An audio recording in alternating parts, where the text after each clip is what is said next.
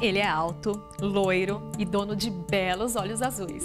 Além de ser um dos atores mais talentosos de Hollywood. Aqui no Cinemax, Paul Bettany estrela dois filmes do diretor Scott Stewart, Legião e Padre. No suspense Legião, Deus perde a fé na humanidade e dá início ao apocalipse mas o arcanjo Miguel se rebela e decide ajudar os humanos. Já no filme Padre, ele é um sacerdote que desobedece à igreja e vai em busca dos vampiros que raptaram sua sobrinha.